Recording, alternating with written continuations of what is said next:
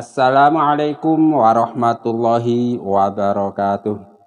A'udzu billahi minasyaitonir rajim. Bismillahirrahmanirrahim. Alhamdulillahi rabbil alamin. Allahumma salli wa sallim ala sayyidina Muhammad wa ala ali sayyidina Muhammad. Amma ba'du. Kaum muslimin rahimakumullah. Marilah kita sama-sama melanjutkan belajar membaca kitab Sahih Bukhari karangan Imam Bukhari. Kali ini kita sampai pada kitab ketiga bab ke-25 tentang babu tahridin Nabi sallallahu alaihi wasallam wahda Abdul Qaisi ala ayyah fadul imana wal ilma wa yukhbiru man waro ahum kaum muslimin rahimakumullah pada bab ini Rasulullah Shallallahu Alaihi Wasallam itu menerima kunjungan delegasi Abdul Qais. Waktu Abdul Qais disebut ya. Jadi singkatnya beginilah ceritanya itu ada suatu kaum yang disebut Bani Robi'ah. Nah, Bani Robi'ah ini mengutus delegasi Abdul Qais dan kawan-kawan untuk menjumpai Rasulullah Shallallahu Alaihi Wasallam. Ketika berjumpa dengan Rasulullah Shallallahu Alaihi Wasallam, kemudian delegasi ini oleh Rasulullah Shallallahu Alaihi Wasallam diberi pelajaran yaitu empat perintah dan empat larangan. Setelah diberi pelajaran tersebut, kemudian delegasi ini diberi wasiat atau diberi pesan atau diwanti-wanti oleh Rasulullah ihfaduhu wa akhbiru man waro'ahum. Hafalkanlah keempat pesan tadi atau kalau menurut judul Imam Bukhari di sini jagalah iman dan ilmu kalian yang sudah saya ajarkan tadi itu, lalu kabarkanlah kepada kaum kalian yang tidak sempat ke sini. Begitu. Nah, perlu saudara-saudara ketahui bahwa kaum Robi'ah atau Bani Robi'ah ini itu daerah dia dengan daerah Rasulullah itu dipisahkan oleh kelompok apa daerah orang-orang kafir. Sehingga Abdul Qais dan teman-teman ini nggak setiap saat bisa berkunjung kepada Rasulullah Shallallahu Alaihi Wasallam karena takut ada gangguan dari kaum kafir yang memisahkan daerah mereka dengan daerah Rasulullah Shallallahu Alaihi Wasallam sehingga Abdul Qais ini dan teman-teman itu hanya bisa berkunjung kepada Rasulullah Shallallahu Alaihi Wasallam di bulan-bulan haram saja. Nah, dengan kata ihfadhu wa akhbiruhu man wara'akum ini, Imam Bukhari membuat dalil bahwa sebaiknya kita itu memotivasi kepada orang-orang yang sedang menuntut ilmu. Nanti setelah dapat ilmu, memotivasi supaya ilmunya disebarkan, terutama di daerah masing-masing. Kita bacakan saja bab nomor 25. Babu tahridin Nabi sallallahu alaihi wasallam wahda abdi qais ala ayah fadul imana wa ilma wa yukhbiru man wara'ahum. Itu Nabi memotivasi utusan Abdul Qais agar menjaga iman dan ilmu serta menyampaikannya kepada kaumnya.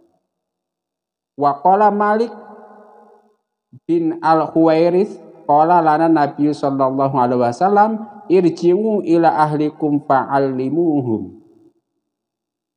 Malik berkata, pulanglah kalian.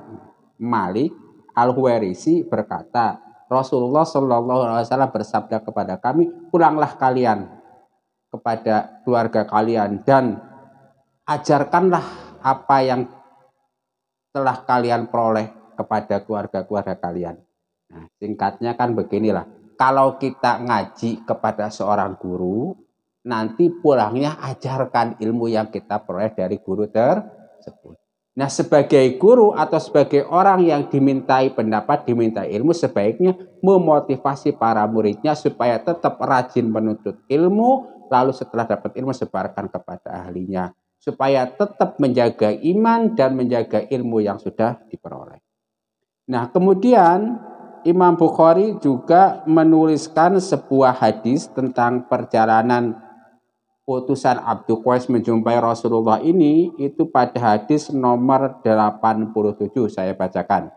Hadasana Muhammad bin Bashar qala hadasana Gundar qala hadasana Syu'bah an Abi Jamrah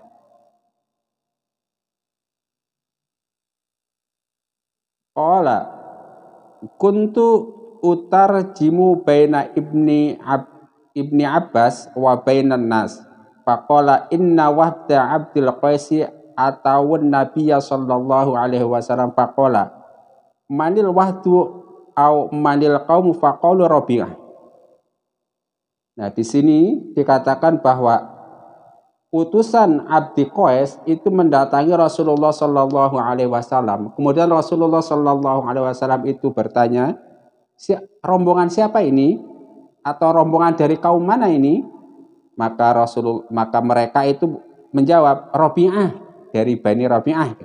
Pakola maka Nabi kemudian bersabda marhaban bil qaumi au bil wahdi ghairu wala nadama.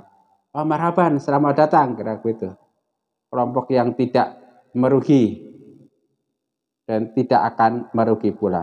Qalu, nah, putusan Abdi Qais ini berkata, "Inna na'atika min suqqatin ba'idatin wa bainana wa bainaka hadzal hayyu min kuffari mudhar. Kita itu datang dari daerah yang jauh di antara daerah saya dengan daerah Rasulullah Shallallahu Alaihi Wasallam itu ada daerah yang dihuni oleh kafir mudhar. Wala nastati'u an natika illa fi syahril haram. Kami nggak bisa mendatangi Anda Rasulullah kecuali pada bulan-bulan haram. Famurna bi amrin nukhbiru bihi man ana nadkhul bihil jannah. Oleh karena itu perintahkanlah kami dengan perkara-perkara yang akan kami habarkan kepada kaum kami dan dengan perkara tersebut kami bisa masuk surga. Fa amarahum bi arbangin wa nahahum ngan arbangin. Maka Rasulullah Shallallahu alaihi wasallam memerintahkan empat perkara dan melarang mereka dari empat perkara. Amarahum bil imani billahi azza wa jalla wahdah Rasulullah Shallallahu Alaihi Wasallam memerintahkan mereka beriman kepada Allah Subhanahu Wa Taala semata. Ola hal tadruna mal imanu billahi wahda. Apakah kalian tahu apa yang dimaksud dengan iman kepada Allah semata? Ola Qalu Allahu wa rasuluh a'lamu. Allah dan Rasulnya lebih tahu. Ola maka Rasulullah SAW bersabda, syahadatu alla ilaha illallah wa anna muhammadar rasulullah. Yang pertama bersaksi bahwa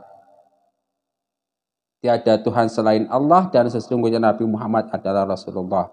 Lalu yang kedua mendirikan sholat, yang ketiga menunaikan zakat, lalu puasa bulan Ramadan. Yang keempat waktu tu'tul khumusa minal magnami.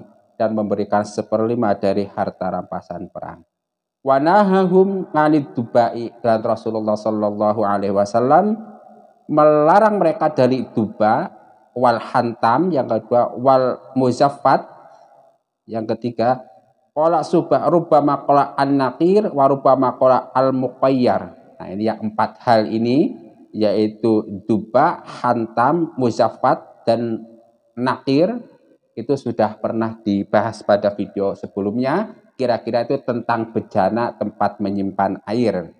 Nah, maka kemudian Rasulullah Shallallahu Alaihi Wasallam bersabda, "Ihfaduhu wa akhbiruhu man waraakum." Nah, inilah ihfaduhu wa akhbiruhu man waraakum yang kemudian dijadikan dalil oleh Imam Bukhari. Dengan kata lain, untuk membuat bab ini, Imam Bukhari itu berdalil dengan dua hal. Dari pertama adalah perkataan Malik bin Al-Huwairisi yang mengabarkan bahwa Rasulullah Shallallahu Alaihi Wasallam itu bersabda irjingu ila ahlikum fa'allimuhum pulanglah kalian kepada ahli kalian dan ajarkan kepada mereka Lalu yang kedua juga sebuah hadis ikhfaduhu wa akhbiru man wara'akum.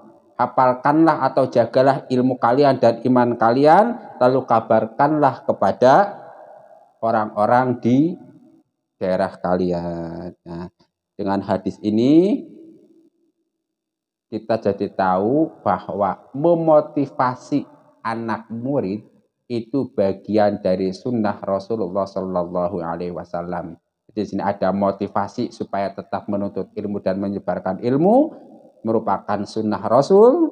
Yang kedua menuntut ilmu dan yang ketiga mengajarkan. Jadi tetap belajar dan mengajar merupakan sesuatu yang sangat utama. Mudah-mudahan bermanfaat. Jangan lupa like dan subscribe channel ini. Rabbana taqabbal minna innaka antas samiul alim wa tub alaina innaka antat tawwabur rahim.